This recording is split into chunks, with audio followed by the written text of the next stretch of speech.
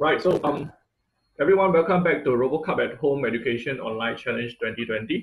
And today we have uh, online classroom for standard platform. And today it will be Pepper version 2.9 Android. Um, yeah, together with us, also we have Luca as the main speaker, and also um, we have um, engineers from SoftBank. And today we will show you some example uh, regarding uh, your development with Android environment for your Pepper application. So as usual, so we have um, the Zoom link and the ID. So please um, share it. And later on, I will share uh, the attendance list in the group chat. So please uh, fill in uh, while I will pass uh, the mic to uh, Luca later on. And as a reminder, so please um, take care on your privacy. So if you have anything you want to ask, please uh, post it on the group chat and please don't um, turn on your webcam throughout the whole session. Okay, anything that you need to ask, please post on uh, in the group chat. Right. Okay, so let's get started. Um, Luca, yeah. So I pass to you. Okay, thank you very much and welcome everybody. So today we will uh, focus uh, on uh, combining uh, chat interactions with robot actions. So chatbots uh, are very nice tools, uh, but uh, I believe, uh, and uh, not only me, of course, all the scientific community, that when you put a chatbot in a physical robot, the user experience changes a lot. So even if you have the best chatbot that can let's say, uh, answer correctly to all the questions and blah, blah, blah. But uh, if you don't embody this chatbot uh, on the robot properly, the experience from the user point of view uh, will not be uh, as good as uh, in other cases. So it's very important to relate and make sure that what the robot says, for example, during the chat, uh, will also correspond uh, with what the robot is doing. And this is very important because there's a difference with the software agent. So you can have chatbots in on websites, so you can interact with chatbots uh, on your mobile phone, or you may have uh, Alexa or Google Home at home. And of course, the, you have some experience when you talk with these devices. But when you are facing a robot, especially a humanoid robot like Pepper, then your experience is completely different because you look at the robot, the robot has eyes, has a face, it looks like a human. And so you're not thinking anymore to speak to a machine, but you tend to uh, impersonal uh, to give personality to, to the robot. And so, for example, if you just take uh, uh, pepper standing without moving uh, while it speaks. Uh, this will be very unnatural, while it's of course very natural that your mobile phone, your smartphone does not move while you speak with, with it. That's normal. While a humanoid robot with eyes, with the face, with the arms, it's not natural that it's static while um, talking. Uh, for example, if you talk to, uh, with a person and you move a little bit, uh, the person will probably move uh, his or her face towards you because it's uh, uh, giving a signal that it is giving attention to what you say. And you expect that the robot, a humanoid robot like Pepper, will do the same. So it's very important to relate what the robot does with what the robot says. And this is uh, the topic uh, of this lecture. So we will see uh, more specifically that, uh, so we have seen uh, in two lectures ago how to generate some actions. And we have seen in the last lecture how to generate a chat and to write a chat topic. And today we focus on the interaction between these two. And in particular, of course, there is a lot of, to say that we cannot do it in just one lecture, but we will focus on two elements that are important and they are powerful enough uh, to allow you to design interactions uh, uh, with the integration uh, of these two components uh, that are variables and bookmarks. So the focus today is to understand how through these uh, concepts or, or, of bookmarks and variables, we can exchange uh, information from a chatbot uh, and the Pepper code, and we can synchronize this interaction. So we already have seen an example of a variable in the last lecture, and now we'll see more in detail. So uh, when you define a variable in the chatbot topic, you can access to this variable uh, into the Java code in order to have uh, the robot make some reaction. And there are actually uh, two ways of doing one is uh, in a synchronous way by adding a listener to the change of the value. So when you write this piece of code here, uh, the meaning uh, is that uh, whenever the value of the variable changes, so whenever during the chat this variable, for example, is assigned, then this piece of code will be executed. And another possibility to uh, access variables is to use uh, the two methods uh, get value and set value. And this is done in an asynchronous way. So it means that at any time in your code, in your Java code, you want to read, for example, the value of this variable, or you want to write to put something in this variable, then you can use uh, these two statements. So the first one uh, name variable dot get value will return a string that contains uh, the information that is currently assigned to the variable, while the set value will do the opposite. So this is uh, a first way of uh, interacting, and uh, we have seen uh, already an example, and I will show you again this example here that was used in the previous lecture to it was used in a previous lecture to uh, give a name to the person who is interacting with the robot. So you remember the example in which uh, uh, the robot uh, at some point would ask, what is your name to the user?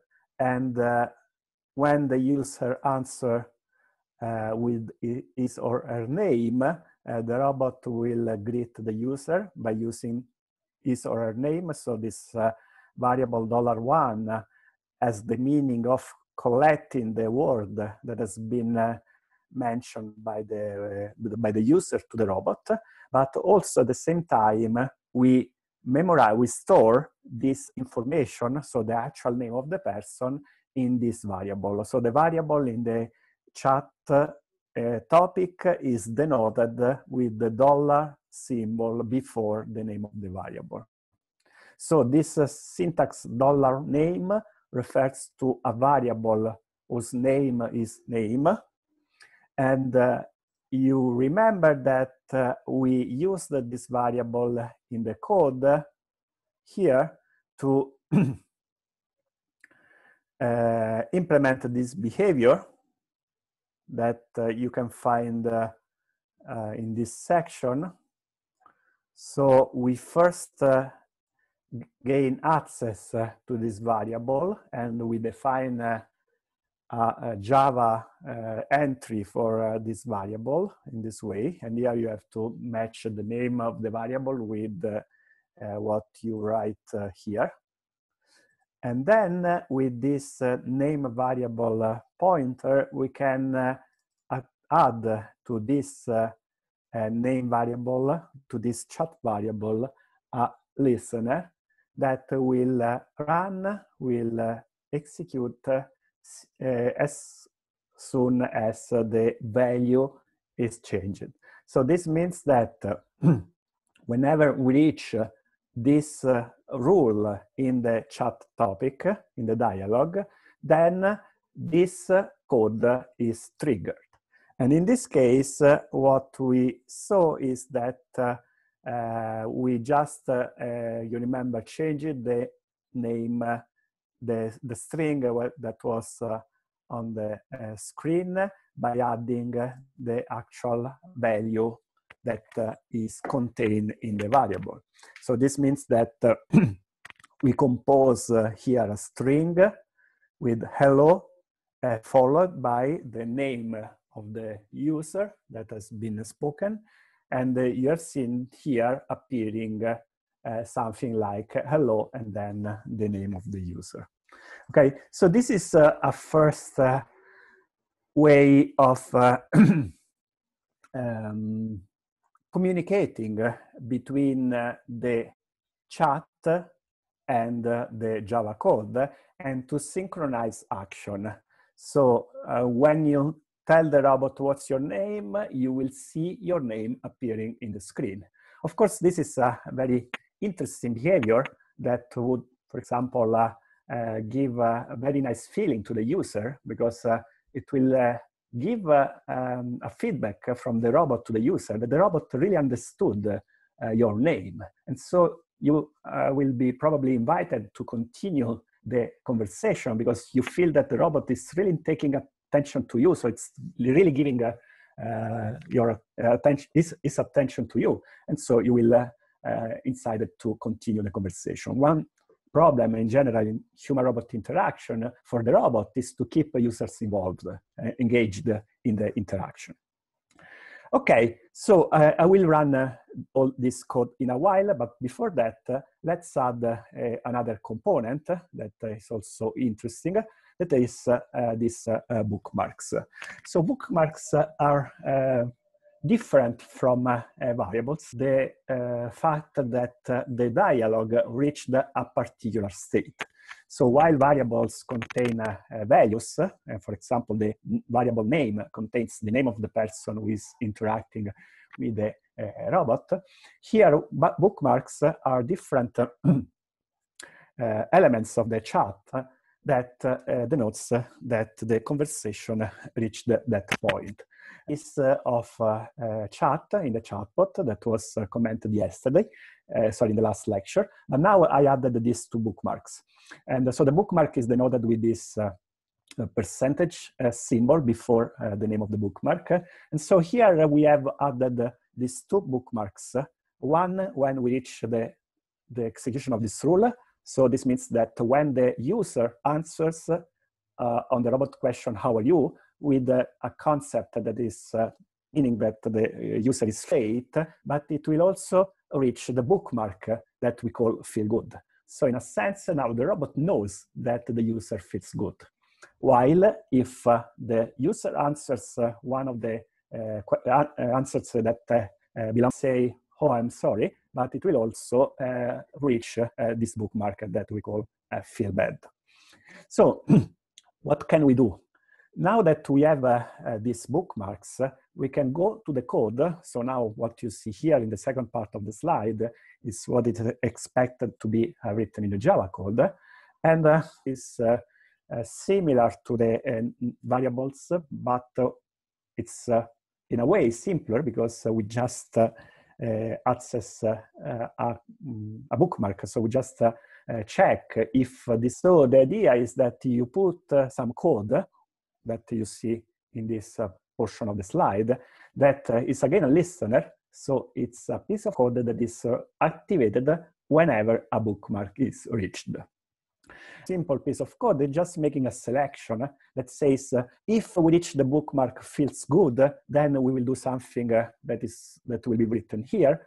Otherwise, if we reach the bookmark uh, feel bad, we will do something else that is written here. Okay, so in this way, of course, you can have uh, as many uh, bookmarks uh, as you want in your dialogue.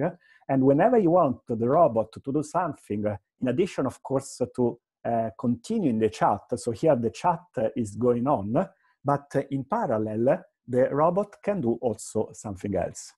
So what we will see as an example is eh, the, the robot running some animations that, of course, are different when uh, depending on the uh, status of the chat. So we have seen a few lectures ago how to create animation actions. Remember the example of the gorilla. There are many other animations and there are animations related to emotions, both positive and negative. So uh, what I will show in a while is that uh, I, as I created an animation action one for a, a behavior that is uh, good to show for the robot when, uh, let's say, the user feels good, and another animation that is good in situations when the user feels bad. And here, what you can see is the implementation of this concept here, where now in uh, when the bookmarks are reached, I will just run either animation one or animation two. So what's the meaning of this uh, little uh, bit of code is that uh, uh, whenever we reach the bookmark feel good, then this animation is run, or when we reach the bookmark feel bad, then this other animation will run. I will show you in a while uh, the full code of it.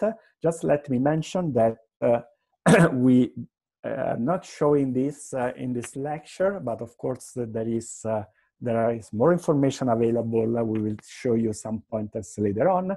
And the uh, bookmarks can be used also in the other direction. So from the code to the dialogue to uh, push the robot to move into a particular section of the dialogue.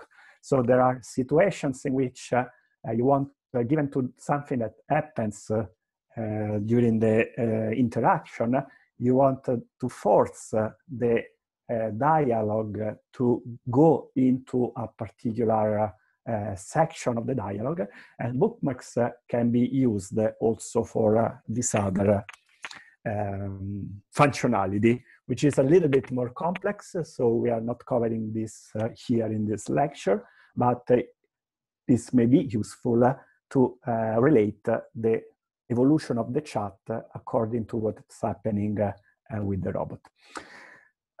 okay, so um, let's see this example. So here you see uh, the bookmarks in the first uh, portion uh, of the proposal. So you remember from last uh, uh, lecture that the main rule associated to the hello concept, which is this one here, is specifying that whenever the user says hello, the robot says something that is within the concept hello, the robot answers something within the concept hello, and then it uh, goes uh, for the next proposal. And here in this example, we have three proposals, one in which the robot asks, uh, how are you? And this is the uh, portion of the, of the dialogue.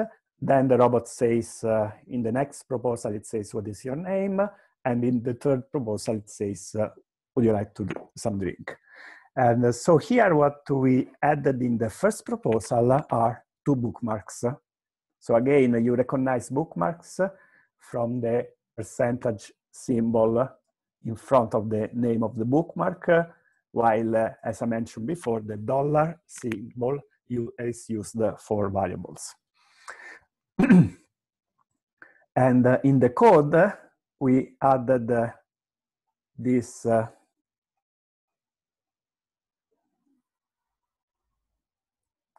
piece of code. So first of all, we created two, we defined two animate actions. One we call it good anim and the other one will, is bad anim. we create these actions uh, in uh, uh, as uh, animations uh, in a similar way as we have seen previously. And before that, you remember that you have to load to import a new animation. You can do it here from the import animation button. If you go here, there are many. Among them, you can find among the emotion some uh, negative emotions. You see a bunch of them here and positive ones. Okay, so what I did here, I choose uh, one positive uh, emotion uh, animation that is associated with the good mood of the user and one negative that is associated with bad. Of course, uh, as we mentioned, you can do much more and it's up, just up to you uh, this is just an example. So once we have uh, the actions uh, animation, we have added this as a portion of the listener when the bookmark is reached. and so very simply here, what you can see is that uh, when the bookmark feel good is reached, then the robot runs the good animation action that correspond to the uh, this particular animation here. Okay, while uh, when the feel bad bookmark is reached, the robot will run the bad animation action that correspond to this uh, other interaction here. Okay, so let's see the example of execution. And when you do this, uh, uh, it's very useful, uh, the functionality that you, you can drag. So you see here in this window, the robot viewer window, that uh, you have these uh, four views. But uh, in this example, when you want to see at the same time the robot and the dialogue, you can drag this window here. So if you click on this bar and you drag this window outside, what you will have is that you can see at the same time the dialogue view and the robot view. So can, you can uh, appreciate, for example, uh, the robot moving while doing something else. Okay, so this is a very uh, convenient uh, way of uh, testing uh, dialogues. Okay, so let's run this application and I'll show you the behavior that is implemented.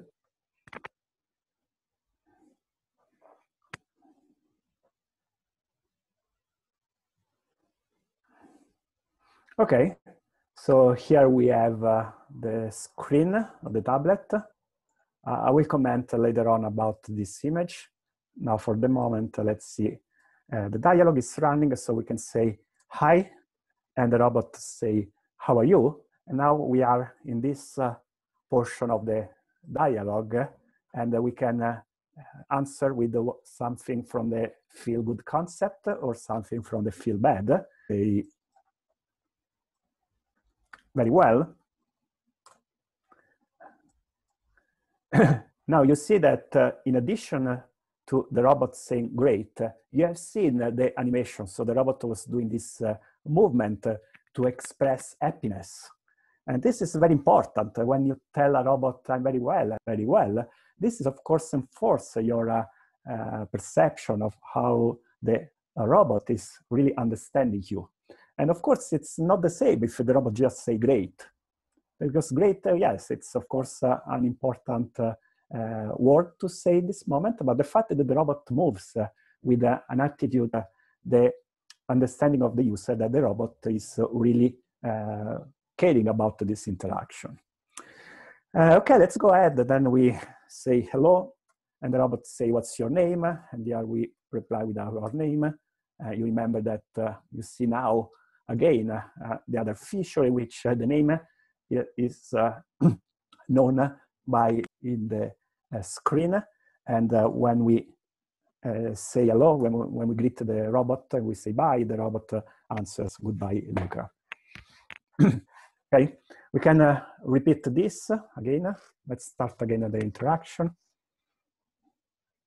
And now we show uh, what happens if we say uh, we are not very well, I'm bad, you see the robot is doing a, a, different one associated to the fact that the robot is sad that we said uh, that we are not uh, good.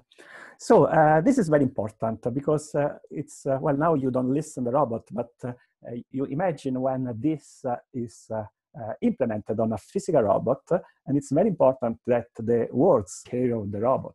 Imagine if the robot say, I'm sorry, and uh, it makes a joyful uh, expression uh, that would not, uh, you would not understand. Uh, is the robot uh, making jokes of you? Why, why the robot says, I'm, I'm sorry, and then it, it looks like happy. Okay, so it's very important uh, to have uh, this kind of interaction between the chat and what the robot is doing, a robot, especially a humanoid robot, we really expect that during the interaction, the uh, words that are spoken, so whatever you write in the chatbot, should really correspond to what the robot is uh, physically doing. And it will be very unnatural if the robot is just is talking with you. Okay, I, I, think I can go ahead. I have another uh, topic, uh, and then we can I can collect the question question uh, later on. So the next topic, uh, sorry, that's not the window I want to show. Yes, here it is. Uh, the next topic uh, is to start feeling a little bit more the tablet. Now we have just Hello World, but we can put more because, of course, we want to enrich also the ability of the robot to uh, use the tablet. The tablet is very important because, uh, of course, can contain uh, many information and can send messages through the and it's very important uh, indeed that uh, this information uh, are meaningful with respect to the interaction. So first of all, we can add images to uh, the uh, tablet GUI, so not only text. And here you see an example in which I added the logo of uh, our university. And uh, for your team, I'm pretty sure that uh, you want to add some logo of your team, of your school, uh, whatever you want. So this is just a very simple example that easily by so selecting first of all this activity main.xml and you remember there are three views, one in which you see only the XML file, one uh, you select the views here, one which you see at the same time uh, the XML and uh, preview of the layout, and this other one in which you see uh, only the layout. So here there are many graphical uh, elements that you can add in your uh, uh, interface. We will see in the next lecture also, for example, buttons that can be used to interact, so to, for the user to provide input to the robot. And of course, you can add images. And this is the image view.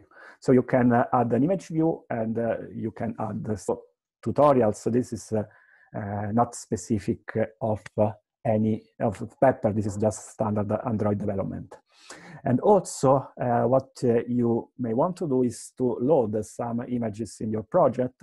So here I have some images that have been loaded in this section of, the, so in your application resources, so app, res, and drawable. And uh, you can load images here. To load images just to drag uh, from uh, your file system, or you can load it uh, with uh, uh, by adding a new files with the menu. Okay, but um, what we are more interested in this lecture is not only to generate a static layout with images. So here will be very easy to add additional elements, but it is also important that we uh, learn how to change images uh, during the execution of the code. Okay, so again, uh, we will not cover too much the graphical layout of your um, tablet. This is standard Android stuff. You can do whatever you want in order to make this screen nice. But uh, what is uh, now more important for us is to understand how the same during the execution of the code. So uh, in order to do this, as we have seen an example for the text view, in which we have changed, you remember, uh, the name of the text here for hello world to hello and the username, we will see now how to dynamically change images. So first of all, we need uh, to uh, gather having the GUI on the tablet, the identifier, that is this symbol here uh, that is uh, labeled with Android ID. And uh, with this identifier, we can go to the code, to the Java code, and uh, uh, get a reference to this element of the GUI. So this is this name, image view one, that correspond to this name here, is used in the Java code to get, uh, I've done the same with the text view. So in this way, the text view uh, variable in Java code is a reference to the text in the um, in the Android GUI. So this variable is referencing this graphical element on the GUI. And now we added the image view that is uh, now referencing this other uh, element in the GUI, while text view is a text, while image view. So this is the way to access uh, this uh, element. And now, how do we change it? We have seen that uh, for uh, changing the text, so for changing this element, we have to pass a string. And so this is the case when I compose the string hello Luca, for example, so hello and the username, and then I call this function with the string hello Luca, and this uh, set text applied to text view, and with this value, we'll change the value. So this is uh, how we actually change this label here. Now, if we want to change the image here, we have to do something else because an image uh, is not a string. So what we will do, and I will show you in a while, is uh, to start from the reference of the image view. Okay, uh, remember image view is the reference to this uh, element, to this resource uh, in the GUI. And then uh, this time we use uh, the method that is called set image resource. And the set image resource as so what you will do here is to load the images that you want to use in your application as a drawable in the resource folder of your application. And then here you select which one you want to show. So uh, it's an image of a Coke, and this uh, action here will show the image of a cook uh, replacing the logo of Sapienza University. So how do we use this? Well, of course, we want to relate other variable, and now we are using the third proposal in our chat. And the third proposal is a question from the robot to the user, would you like some drink? And there were many options. And so we memorize in a new variable. Now we have a new variable that is called drink. And we memorize the answer of the user. So if the user says Coke, then variable drink. If the user say wine, then wine is stored. Now this, we don't store beer because in this dialogue, uh, the robot uh, replied that uh, there is no beers available, there are no beers. So uh, in this case, I decide to throw a beer while it says uh, I, I don't have any beer, okay? Of course you can do it. I mean, you can add also uh, beers but uh, it's important also uh, what is the message. So if the robot say, yes, I have a Coke screen, this is what you would expect because you expect the robot that you understood that you want a Coke and it shows you a Coke. Uh, I would consider very weird if uh, I ask for a beer, the robot says, I don't have a beer, but uh, it shows uh, a beer on the screen. That would be, in my opinion, confusing. Anyway, that's up to you, of course. So uh, what we have here, a variable drink that uh, takes the value Coke whenever the user say, uh, yes, I want a Coke. And the same variable drink takes value wine when the user answer that he would like some wine. Now, as we have done for the name variable, in the code, we added an additional uh, listener now on the drink variable, the same uh, as before for the name variable, but now it, uh, the behavior is changed. So you remember the name variable was associated to a listener that uh, would set the text view to the value that is specified with the username. Well, now the drink a variable, whenever this variable is changed, it will uh, set this time the value of the image. Okay, so you see that here, uh, associated to the listener for the name variable, we have this uh, text view set value that will uh, set the value of the text view uh, reference. While here, when the value of the drink variable changes, we will set. And if we go here to this uh, image view set value function, we can see uh, what is the behavior. It's very simple. If uh, here we have the value of the variable, if the value of the variable is Coke, then uh, we will show the image of uh, the value of the variable is wine, we will show the image of wine. Okay, so let's see this uh, the execution of this uh, task. Okay, we can continue this interaction and we say again, hi, what's your name? My name is Luca. Now I write just the name because I want to make it short. Okay, let's uh, uh, greet uh, the robot again. Okay, now we are in the phase in which the robot is asking, uh, would you like some drink? Uh, let's start with the beer. And you remember that uh, the robot answered, sorry, I do not have beer but it's still uh, waiting for uh, uh, your answer. And now if we ask for a Coke, we will have the Coke and this image appears on the tablet of the robot, okay? you see again, this is a, a very nice feedback. Uh, and uh, imagine you are thirsty and the robot shows a very nice picture of a Coke. Well, of course, uh, this willing of uh, getting the Coke, okay? So it will increase uh, your experience uh, of interaction with the robot and you consider probably this interaction more suitable. let me start this again. I want to show you the example wines. of course, you can create a better interface that can keep the robot asking questions and you don't need to restart every time. But uh, here, uh, in order to simplify this example, uh, I did it in this way. So again, how are you? Uh, good. The robot uh, is happy. And then we can uh, the robot again. And my name is always Luca. And then uh, finally, we can choose some wine. You see now that, uh, again, that's very interesting uh, uh, behavior. The robot it says, uh, do you prefer red or white wine? And you see here an image in which uh, there are two options. So again, this image matches with the concept the concept in, in this case, uh, the robot is not saying, uh, yes, I have wine, but it's asking uh, which one would you prefer?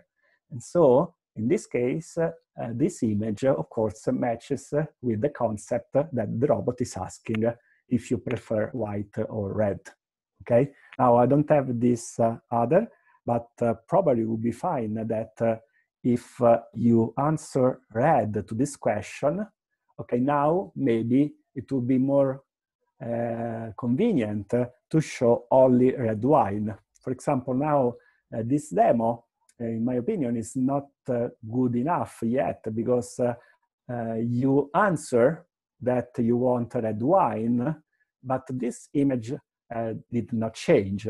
So the user may have some feeling that the robot did not understand the, the answer. So um, I'm asking myself why the robot is not showing only red wine at this point, uh, since uh, I have answered that I want red wine. So this means that uh, would be, and this is something that you can certainly do as an exercise, uh, that you can add, uh, for example, here, uh, another value of the drink. For example, I would add something like red wine if we reach this state, or white wine if we reach this other state. And then you have to load here some additional images, one for some white wines and one for some red wine. And add here uh, other two cases. So if the value is uh, red wine, then you will show an image of red wine. If the value is uh, white wine, then you will show an image of white wine. Okay, so this is uh, an example of uh, exercise that uh, you can do in order to improve uh, this, um, this interaction. You will find this code in the um, GitHub repository, the RC Home Edu Learn Pepper, and this is the basic chatbot.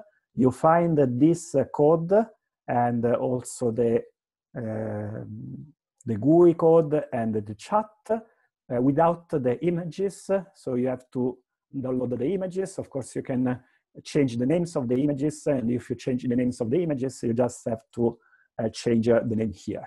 So uh, in the repository, you find the code, but not the resources. So you can grab uh, your favorite images of a Coke or white wine or whatever you want, and uh, just make sure that uh, the what you write here matches uh, the name of the resource that you put here in the drawable. Okay, so that's it for the first part of this uh, lecture today. And so, sorry again, this is wrong. so we have seen how to uh, modify some elements uh, in the GUI. And now, uh, before uh, we go on uh, with the second part, uh, let me see if there are questions that I have to answer. Or if anybody from also SoftBank wants to add additional information about what I was just mentioning. Hello. Uh, yes, I can add a bit Yes. more um, explanations Sure, on the thank you. general usage of QiChat and code. Um, since um, like um, one of the main purposes of this is, as you shown in the first slides, is to separate the kind of business logic, which should ideally be more in your code, from the anything related to language.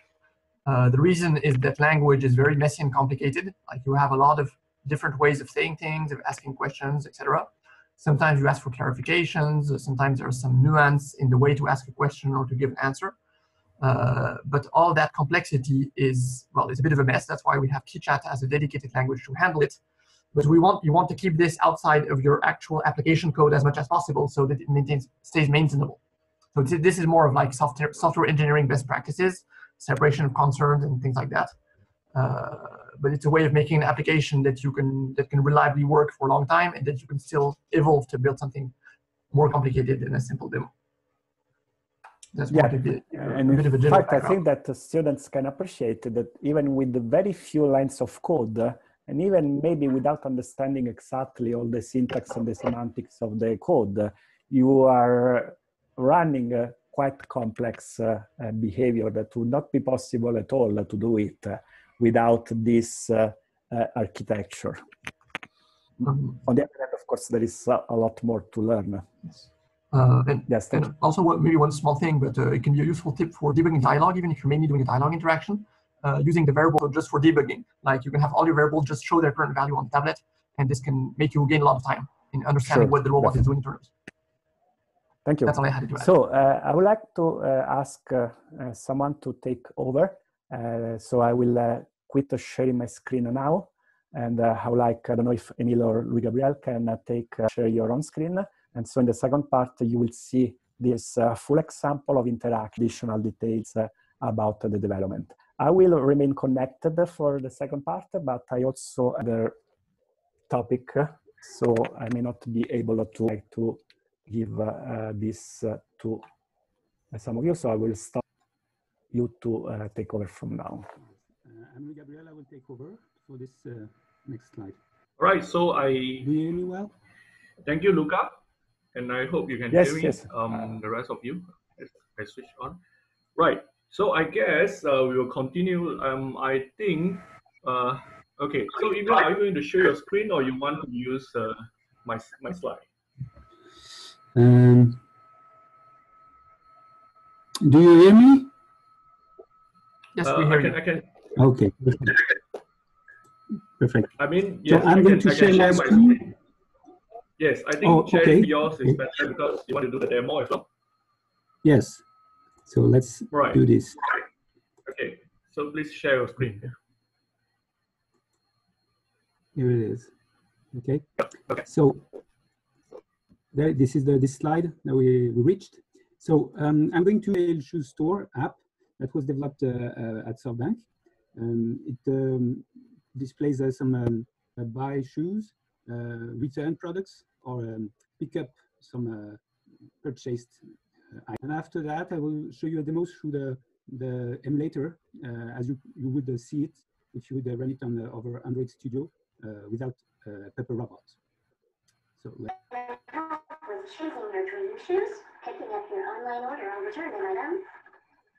I would like to start shopping with you. All right. Thanks to my age and gender analysis capabilities, I have selected these sports shoes for you. Is this what you are looking for? No, Okay, then please select another product from below. I would like to see woman dress shoes. Got it. Classic shoes for a woman. Are these okay? Yes, it is. Okay. Please select your shoe size and tell me what color you would prefer. Can you show them in red and size 42? Okay, I selected the size 42. Now please tell me what color do you prefer? In red, please. All right, here they are in red and size 42. Would you like to buy them? Yes, of course. Perfect. Because you are shopping with me, you can get these matching socks for 50% off. Would you like to add them to your cart? Yes, please add them. Perfect. I added them. We are getting these items ready for you. Just go to the desk right over there so that my my human colleagues can help you. Thank you. Sure. Could you give me some feedback? It was perfect. Thank you for your feedback. Goodbye. Goodbye. So as you could see, you could see the live uh, interaction with the robot. And uh, now I'm going to show you the, um, the view through uh, playing it through Android Studio. So here I've got, I've got my Android emulator, the robot view, and there below the dialog view. Okay, the, the tab to where I can type some input and I'll see the uh, answers from the robot. So let's start the project.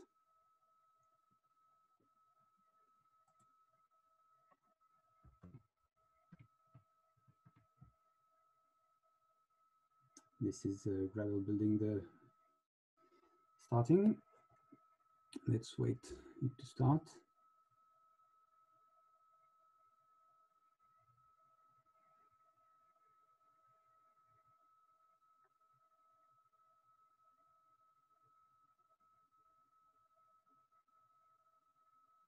Installing.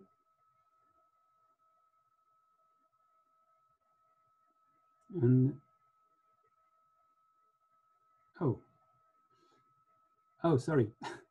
um, I made the, the wrong window. I had two Android Studio uh, running, excuse me.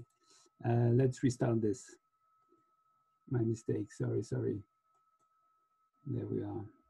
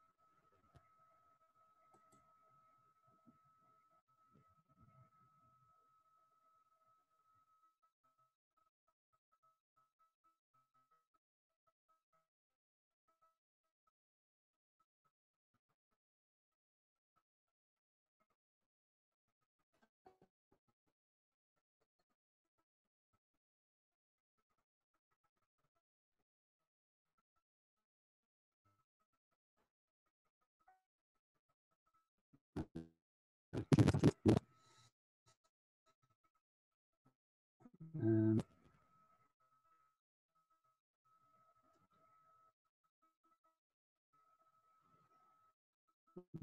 uh, yeah, do you hear me?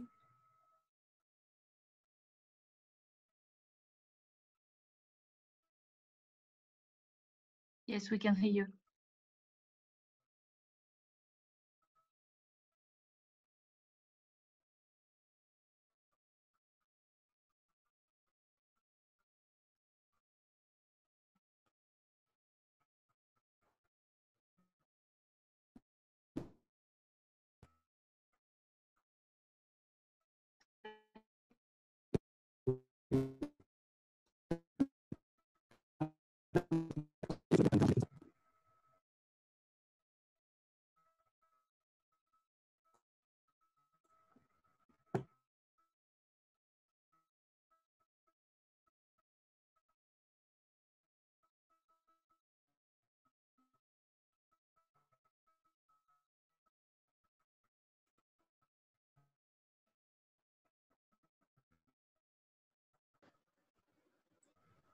Absolutely.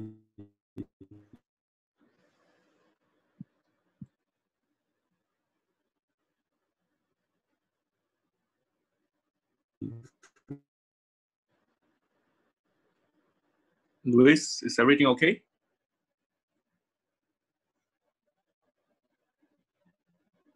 Please.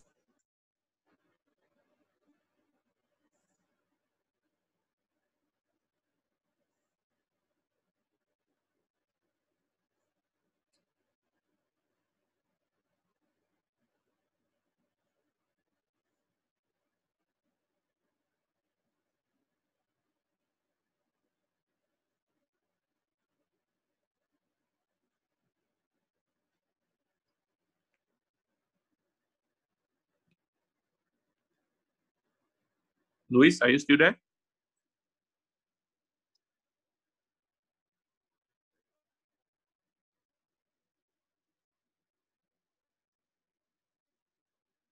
I think he, I think he has a problem of connection because uh, we don't see Okay. we don't see his screen anymore. Yes, um, He will- will probably come back. okay. I tried to chat with him. All right, so maybe uh, let me let me answer some question while waiting for Luis to be back. So um, uh, I, I saw a question regarding the competition. So for the competition, uh, because we planned this uh, class, uh, is in order for new beginner team to learn how to start development and so on. And um, we will mention and also we will discuss more about the competition preparation uh, in the last class, which is next week. So we will tell you roughly like after you have learned all these things, so how are you going to uh, develop based on whatever that you have learned uh, uh, in order to solve the competition task, or you can come up with your own scenario and so on. So we will discuss more about this um, competition preparation uh, in the last class, which is next week. So um, I hope you can attend next week, and, and we will discuss more on the competition uh, side. But for, for today and also next maybe the first half of next class, we still focus on the development so that you can learn more in order for you to prepare. And regarding the number of teams, currently we have, um, uh, if I'm not mistaken, it's uh, 20 plus teams uh, registered, but I, I, I'm quite sure that um, after this we will have more because um, we still open the application, so maybe many teams still haven't decided uh, the details, so they haven't signed up. But currently we have 20 plus, almost 30 teams, so it's quite a good number for the competition. So I hope I, I, I answer your question. And um, next week we will we will talk more about the preparation. For the current moment, if you want to know about the details, we actually have put up all the details about the competition on the website. So please go to uh, the competition main page. Uh, I'll put the link after this. Uh, you can read, and also we have the video on the first uh, class, which is uh, the introduction.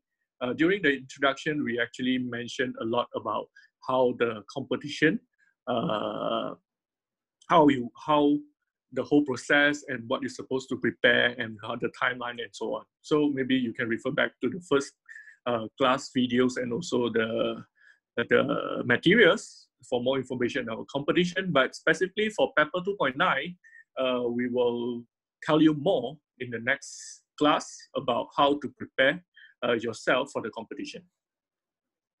All right, so let me put um, the link for you.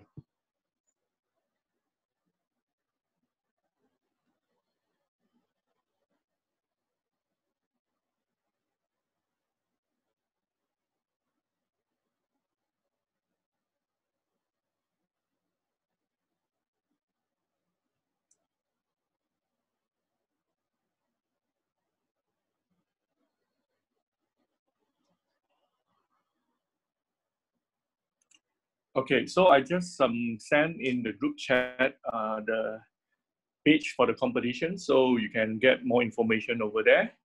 Uh, well, regarding the timeline and also the, the process, okay, the procedure and so on.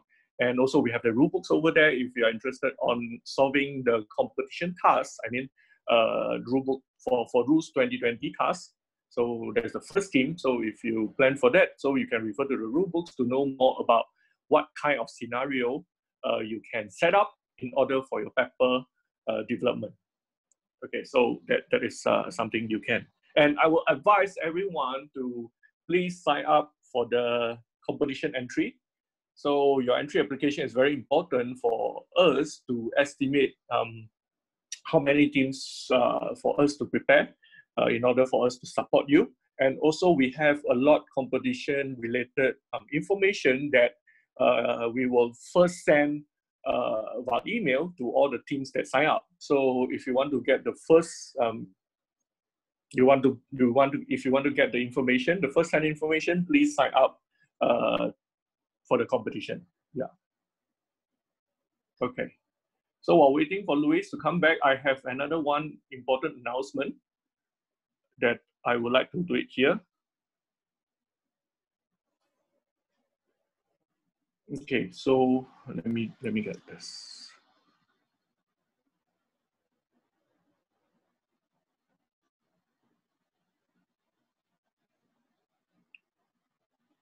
So I put up a link to uh, uh, maybe you can see this survey. Maybe like this is better. Okay, so everyone can see. So uh, I put up a survey form uh, in the group chat and I appreciate everyone can please go through the form and please put in your feedback to our classes because after uh, we will we will do our last class actually next week. So after that, we actually have a new planning uh, to have different kind of um, online classroom. So we will have invited lectures and so on. But um, in order to organize it in the way that more suit your need, uh, particularly, for example, your timing and also the topics that you're interested in, uh, we would like to hear more uh, from you. So please um, take some time while we are still waiting for Luis to come back with the system. Uh, please look at the form and uh, tell us more about your experience or your feeling or anything that um, your comment, suggestion, and put in the form so that we can um, organize uh, better online classroom after this.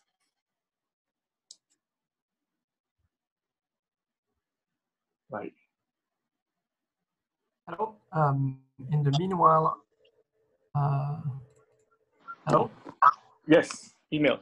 In the meanwhile, I can present a bit. Uh, I don't know if we is going to make it back. Uh, a bit more documentation. Just in addition to everything that uh, Luca has presented in this course, you might want to check out some additional material. Uh, there's a lesson called Linking QiChat and Code uh, on Developer Center uh, that contains um, well a lot of what was covered here in a bit more detail. Um, it's written in Kotlin, not in Java, but the concepts are similar. Uh, just the syntax changes a bit, and everything in the QiChat side is the same. And there's a bit more explanation on how everything works. So if you want to read over, that's a good placing point. You can also check all the QiChat resources on this link. So it's actually, uh, if you want to check this, uh, it will bring again on Developer Center, our website, uh, a lot more materials on uh, things related to QiChat. So now that you have the base of the syntax, as well as the, the linking QiChat and code, um, you can you should be able to understand most of that if necessary, or see which one of those are useful for your project. Um, in addition to code, you might want to look at sample, uh, sorry, in addition to documentation, you might want to look at sample code. Uh, so of course there's the RoboCup Edu uh, that uh, Luca shared earlier on the website, but uh, there's also some on our GitHub uh, projects. So you have um, uh, the Qi SDK tutorials here. These are this is actually a code repo that corresponds to a lot of the tutorials used in uh, the documentation. Um, so it's a fairly big project. It contains a bit of everything, all the tutorials together. Uh, but it's written in Java and has a lot of examples. And you can also try running it on your own on emulator and see which one of those work. Uh, but also, if you want more example of codes, there are a lot, uh, a lot in there. Uh, that's mostly it for the documentation part. I think for the assignments next time, this was maybe more for Jeffrey and Luca. but the idea is to yeah, keep working on your project um, and adding things. Uh, we had some discussion on how to deliver this in the end on GitHub. Uh, so currently the idea would be that you, for the final uh, project submission, you would be push, putting this on the shared uh, GitHub uh, project that you all have. And from there, we will retrieve it and this is on real robots. Um, the um, an important part of the submission so first is how to submit it and also uh, to be sure to include a readme that explains, so here's an example, but uh, the important thing to explain is for whoever will be testing the project is to explain what it's supposed to do and how it works. So for example, you're supposed to launch it. If you need to press a button to do anything, which you shouldn't, uh, which one to press, and if you need to say some things, what should you be able to say? Either in like a, in a scenario like it's shown here, or as a list of things you could say. Uh, this is the important part, so we don't want people getting the project and trying to figure out how it works by having to look at the code, etc. And this, by the way, uh, giving a basic explanation of how your project works is a good way to force yourself to make a project that is easy to test and easy to use, which is very important. Uh, that's about it. Jeffrey, do you have anything to add? Luca seems to have, uh, sorry, um, uh, Louis Gabriel seems to have computer problems. So Okay, so we'll send a video afterwards. okay, so um, I can continue from there since we have some time, so I'm waiting for for Luis. So we can um maybe you yeah right. So just put on that page is fine. Okay, so we actually have um, assignment uh in all the right right. So let let me put up the screen. Okay, um, uh, put up the screen. Okay, let me share, share my screen um, to tell you more about the thing.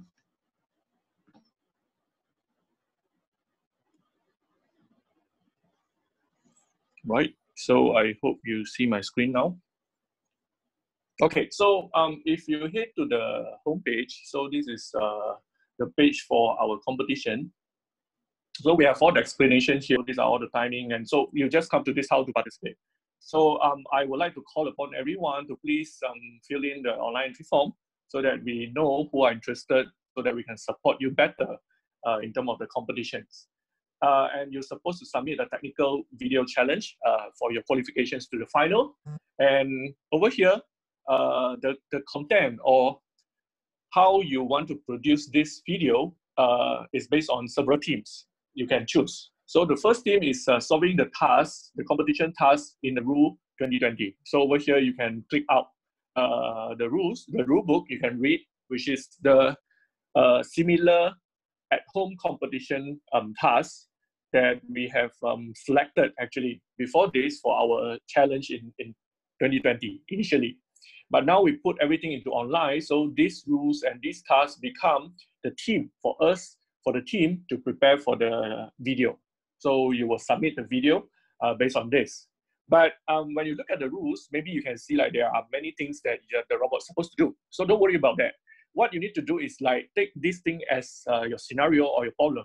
So you can refer, we actually have three, three type of um, teams. So the first one is solving the competition task. The second one is the open scenario, which is you can define your scenario. Or the third one is uh, more for the current um, situation, which is uh, if you have any good idea about uh, service robot application to address the current COVID-19 pandemic situation. So that is uh, something that we encourage to see uh, what people can do. So now come back to this um, Pepper 2.9 development. So throughout these few classes that you have attended, so uh, we share you how you can develop uh, using um, Android to develop um, Pepper 2.9. So you can start to, based on this team, uh, figure out some application that you want to do. For example, later on, Luis will show you uh, a demo on the shoe retail shops. So how you want to uh, interact with robots and, and how the robots are able to support you, right? So that is one, one kind of uh, example application. But now in terms of competition, so what you need to do is you need to figure out uh, an idea or one scenario that you think you can leverage all the tools that you have and also leverage the functionality of Pepper in order to showcase uh, the capability of robots to assist in this um, scenario. For example, like you have a, a, a, scenario in school or in hospital or at home uh, with uh, to, to address a particular problem based on your team. Then how you want to use the things that you learn in this class uh, in order to develop a robot application that can address this problem. And you are going to showcase to us all these things in a in a in a storytelling way. So it's it's very similar. Like uh, you try to come up with a scenario, then you are going to um, demonstrate your robot uh, performance uh, by interacting with some user. So inside the video. So that is what you need. But on top of that, you also need to produce the technical features. I mean, like the technical document to explain. And also in your video, we also recommend you to do some explanation in terms of uh, the technical uh, aspect of your development. So basically, that is the idea how you can, um, uh, what kind of contents you need to uh, produce for this technical video challenge. And based on this um, development, based on your, your submission, so we will select and if any teams that that did a good job. I mean, like if you if you do a good job and you presented a very nice video explaining a very nice uh, application, you'll be invited to the final, which is uh, we will do it uh, suppose RoboCup week that will invite you to do the presentation live. So it's very similar like now, we do it through uh, Zoom. So we'll do it in this online way, in a remote way. So you're going to show us, uh, you're going to present uh, your, your content. Uh, whether you want to do something exactly the same in the video or you want to add something more it is fine, right? So the we will we will see your performance uh, in a live online uh, channel, right? So we, we will do it live uh, during the RoboCup week. So that is the final. So yeah, everything is written here. So these are all the some um, important dates that you can uh, catch up. Uh, so we are going to run the, the rest of the uh, procedure, follow this uh, timeline. Okay, and also for teams that not able to access to, to, to hardware, robot hardware, for example, like you don't have a robot currently at home, or your robot is in your labs and you're not able to access, or even you don't even have a, a Pepper robots, okay? Um, but you're still able to join this competition uh, because we have um, what we call the, the robot development support from, from our sponsor. So SoftBank is um, very generous to help us in this, where you can submit uh, your code and everything to them, and they might review it. If let's say you are doing a good job, for example, I just now Emil have said that you can submit your work and for them to review. And if let's say your application is really good and they would like to help you to execute your code on the robot and also to produce the video for you, and that is something that um, we can work out together. So in that sense, you can actually uh, do your development with uh, the Android Studio. Uh, you can do all your development at home. Then you just need to submit uh, the code that you have done according to the way that Emil just said, and then uh, just follow the submission um, procedure. So you can read out the details uh, later on in, in the submission, but uh, what you need to submit and when you need to submit and so on. Then we will do the review, and if it's okay, then SoftBank will help you to run your code uh, on Pepper and produce the video for you in order for your videos challenge submission. Right. So okay, I would like to know, like, Luis, are you okay? At least I, I need to have some idea, like, what happened over there. Uh, my Android Studio crashed my laptop or some other. Uh, so it's not working. Uh, I can um, I can present it now. It's working. If Okay. uh, with time, or otherwise I'll I can put it through a video. Yeah. uh, Okay. Yeah. As you So you can you can show anything that that can explain the things that you want to say. Yeah, it's fine. Okay. Okay. Right. So okay. you, No. I, can, I share my screen again. Yes. Yes. Yes. I'll, I'll stop. Then you can you can share. Right. So you can share now. Fine.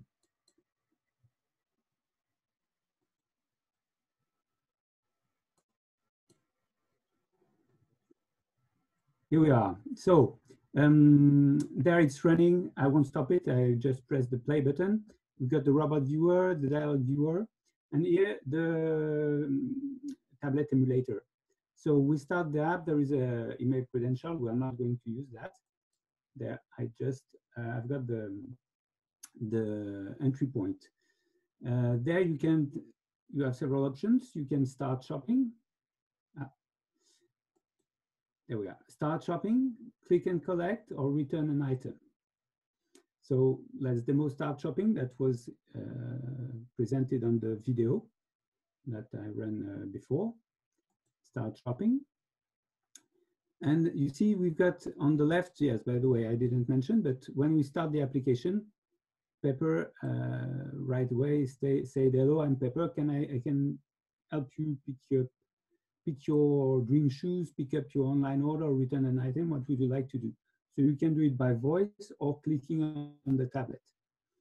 Uh, then when I choose um shop uh, shop an item, uh, I can help you help you choosing your dream shoes, picking up uh, your online order or return an item. So different products are presented. You can uh, type in your choice here. So let's say you want uh, men's uh, dress shoes. I want men dress shoes. And you have, um, and it displays the new type of shoes and you can customize them. So you can uh, choose customize or click on customize or type I want to customize my shoes. I click now, customize, and here you got the different choices. You can choose over the color or over the size. Uh, you can make a, um, a, ask to to change it within the same sentence. I want, let's type it. I want red shoes and my size is 45. Here we are, we've got the shoe in red and with the size 45. Then you can go on, proceed to, would you, uh, the robot uh, confirms the color and size and propose to buy them. Say yes.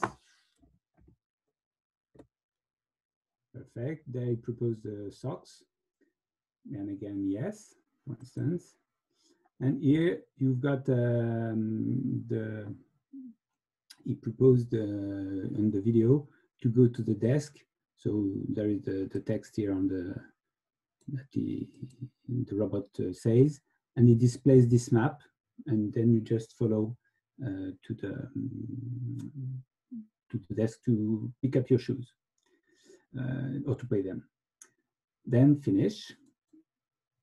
And you've got this um, evaluation the feedback.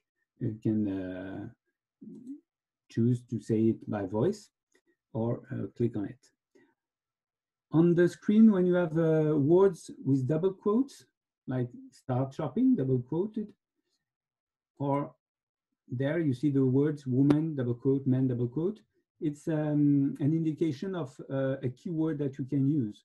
Of course, you can enrich this uh, using um, different words uh, to, to cover the, the most uh, situations that uh, the, the customer may um, use to speak about the shoes or the, the process of buying them. That's what I'm going to show you now. Now let's go to the code. Um, in the, this app is a pretty, pretty rich. There are many classes and files. So it's, it's there you have been using activities with just a main activity file. So you'll see there are plenty of them here. We're not going to go through that. I'm just going to show you the um, topic part. The topics, as you may remember, are located in res raw folder. That's where you should uh, find your topic file.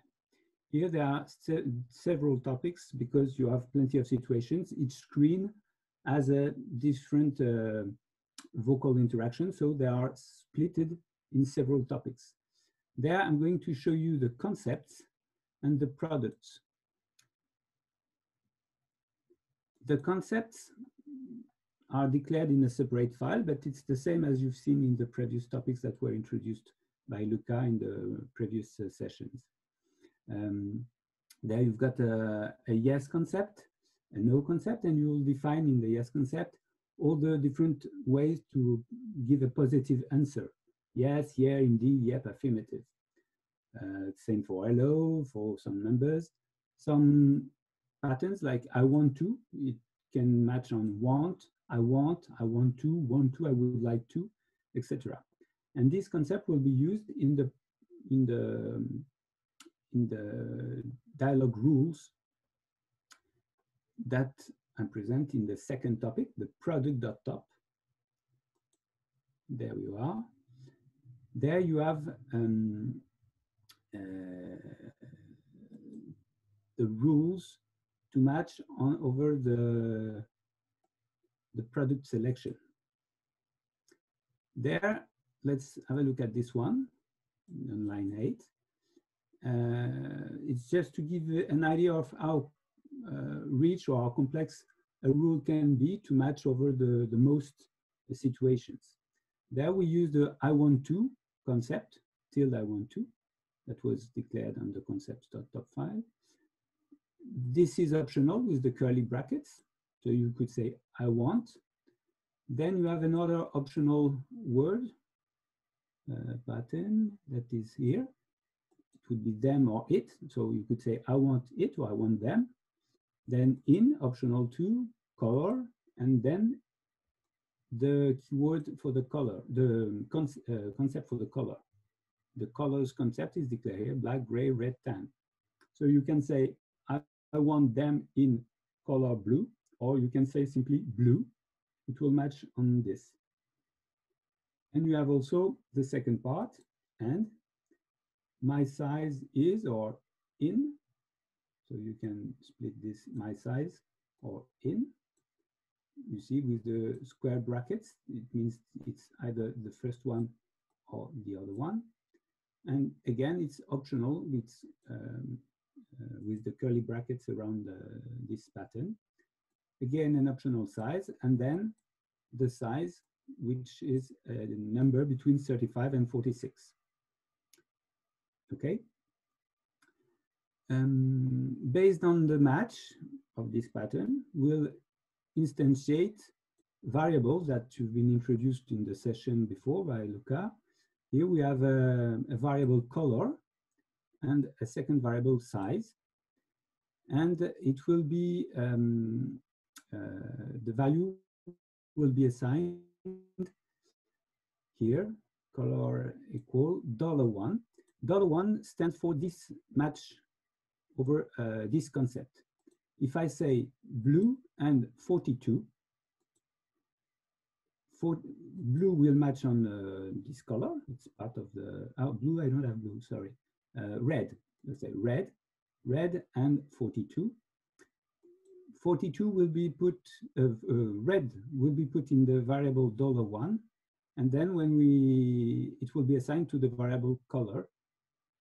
And the 42 will be assigned to the variable size and it's accessible through code through this uh, function that will be detailed uh, later on. But this will send this code to the to the, the, the Java code. And the rest of the line will be what the robot says. It will say, all right, here they are in color. Let me just put it in the second line. Here they are in red and size 42. Would like to buy them. Remember, this was the sentence that appeared here. Uh, here they are in red and size 45. Would you like to buy them? Okay. So that's it. That's um, what uh, I wanted to to show through this uh, presentation. Um, to show how the, the sentences will, uh, the, the rules will be matched on, how complex they can be, and they give you uh, information on how it works. Uh, this uh, is available, this um, app is available uh, through GitHub. Though, so we have a, a, slide with the, do we have the, the link in the slides, I guess. Um, Uh, uh, we didn't put it. We'll share it afterwards. It's available on GitHub of SoftBank. You can download it and um, make it work on the emulator, but there will be some maybe some adaptation. Not all the features work with the version that is on GitHub currently, um, but uh, partially it works. But you can have a look at these topics to to take um, insights over uh, using it. Well, Jeffrey, that's all for me. Right, thanks, Luis. So thanks, Luis, and thanks, uh, Emil, for, for the additional information. Uh, so I hope like um, everyone has quite a good idea on how to make Pepper as a chatbot with Embody. Right, so um, okay, so let me share my screen. Uh, okay, so this one.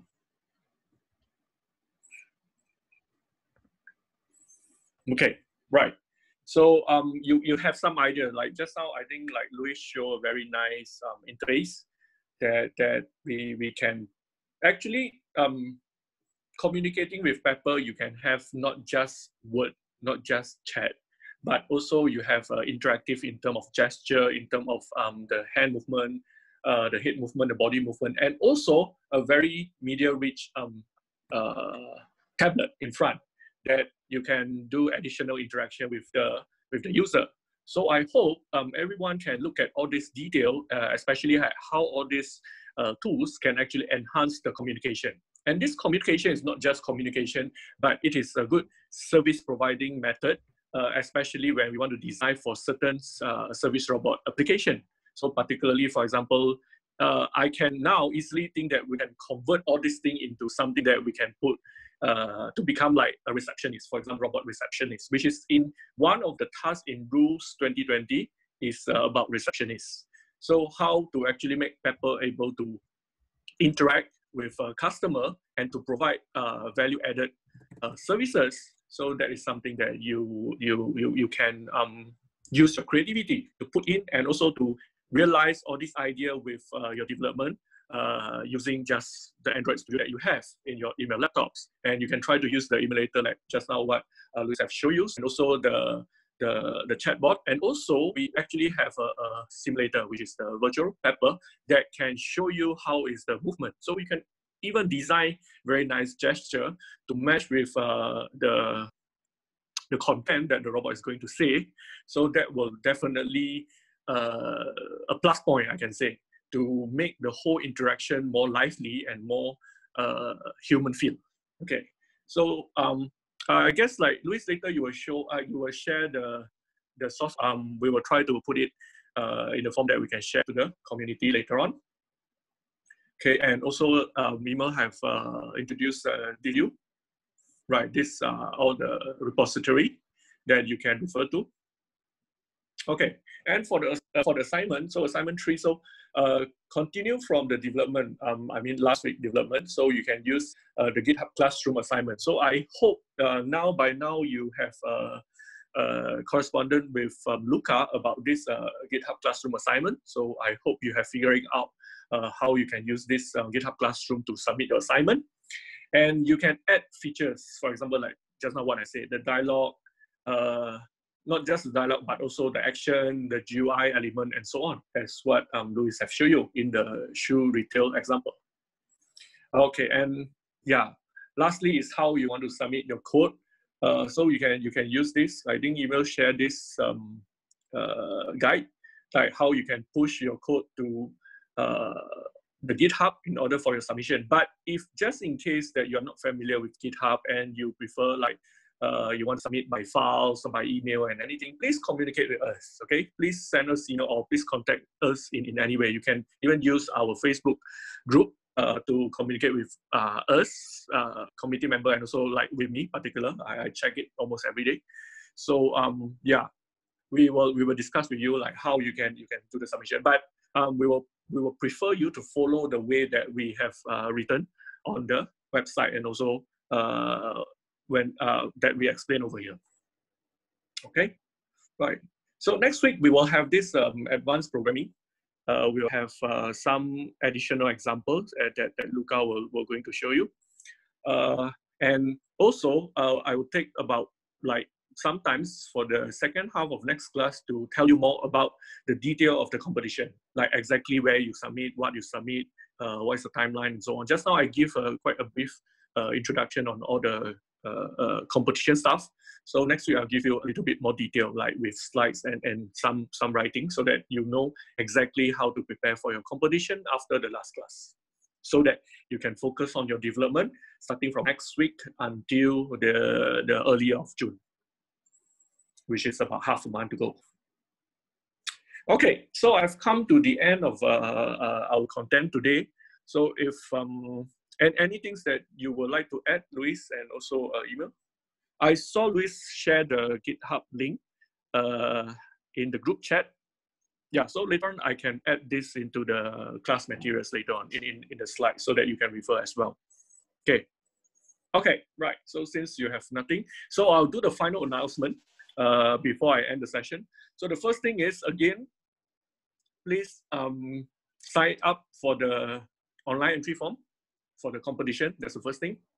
Second thing, uh, I've sent out the link for the attendance today. So please also uh, fill up the attendance list so that I know, so that we, we have the statistics like who attended which class. Uh, easier for us to plan for the next class. And also I have sent out, um, I have posted the a link to a, to a survey form, right, to get your feedback regarding um, our classes and so on in order for us to uh, organize a new series that is going to happen very soon after this right? So after this after we finish this class uh, we have the we have the challenge then yeah along the way we will start a new series. So uh, in order for us to prepare um, uh, the class in a more suitable timing and also in a more uh, appropriate uh, arrangement for example uh, the materials how, how we deliver the materials and also the topics that you might want to know more so in order to get all this feedback so please fill in the survey form that I put, that I post the link in the group chat just now. So I'll put it after this again. Uh, please give us the feedback so that we can do it better. Right. Then lastly, if you have any question, you can post on the group chat or you can like, yeah, communicate with us. And I would like to thanks everyone, uh, especially um, Luca. Uh, Luca is currently busy with uh, other appointment and also engineers from um, SoftBank, uh, Emil and Luis and, and the rest of you. Uh, and also I would like to say thanks to all the participants today uh, for your support and also for your attendance uh, to, to keep this uh, session uh, enjoyable. okay, right.